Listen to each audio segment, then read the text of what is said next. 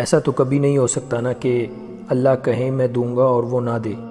जो मांगना नहीं छोड़ते और अल्लाह पर तवक्ल रखते हैं, अल्लाह उनको ज़रूर दुआओं की कबूलियत से नवाजेगा। इन ख़ुद को बेहतरी की कोशिश में लगाए रखना और देखना एक दिन अल्लाह आपकी ज़ात को चाँद की तरह रोशनी ज़रूर बख्शेगा। बस आप रुकना नहीं, हिम्मत ना हारना। बस ये याद रखना कि आपकी हिम्मत खुद अल्लाह की ज़ात है।